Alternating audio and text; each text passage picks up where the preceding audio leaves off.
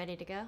Are you guys ready? We are ready. Everybody's ready. Ready, yeah. Ready. Everyone looks so much warmer today than they did in the film. Yes, I know. Very much so. I know. Color has finally come back to Jim's yeah, I face. just thought out. Just now, just Just today, literally just at when this you said moment. that, Literally like, when you walked thought. in. Can I take credit for it? Yes. Okay, perfect. So how did Downhill come to you both?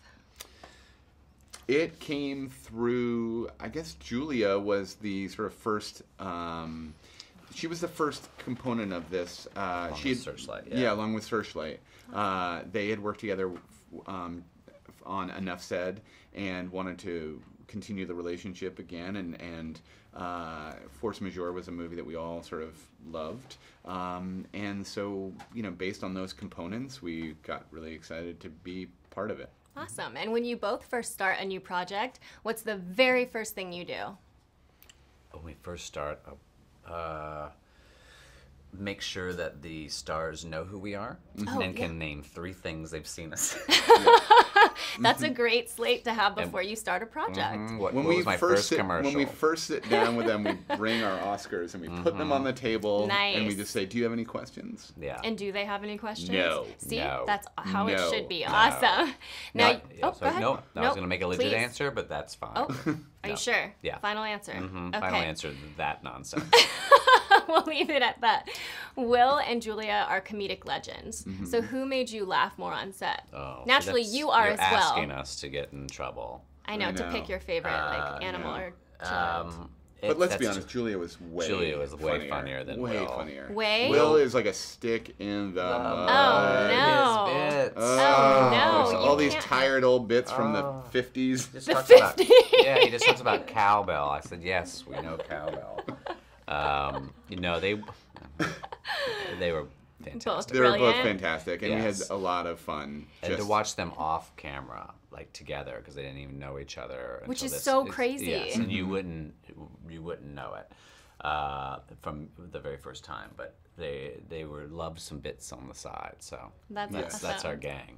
And beyond that, though, are just normal good people. Yeah. You know, which is Hard to come by sometimes. Hard to come huh? by in Very this much so. business, yes, in this industry, and especially uh, delight when you are, you know, in the temperatures and the conditions that we were mm-hmm. in to have people that, didn't are kind of gung ho and No, patient. at times, no. Yeah. It looked freezing. Yeah. Now, Billie and Pete are going through it after that mm-hmm. small little baby dicey moment. Yeah. Mm-hmm. They are te- their relationship is put to the test. So, mm-hmm. what do you both think in real life makes a successful relationship?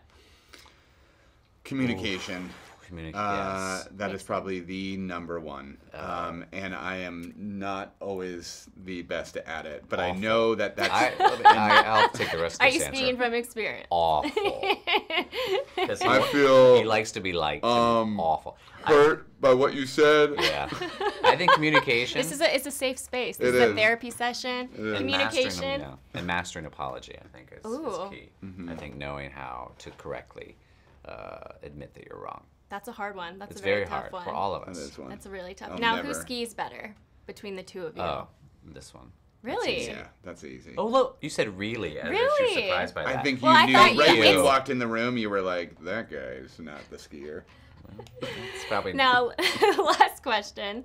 If you could go on one vacation, all expenses paid, just like Rosie and Zach, they love to travel, Uh-huh. where would you pick? Ooh. Ooh.